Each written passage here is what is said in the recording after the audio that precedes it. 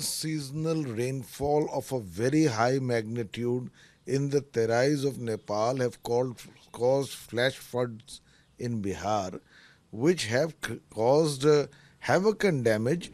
But the administration is working 24 7 to do its best in the circumstances, including providing relief to the people, setting up community kitchens, repairing roads, providing water and food, and it's a constant, uh, it's a war in process in order to help those who are afflicted.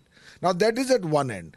On the other hand, must we have such a shallow and superficial criteria to judge if people in administration are sensitive to the calamity of the floods. Super 30 is a film that inspires Biharis.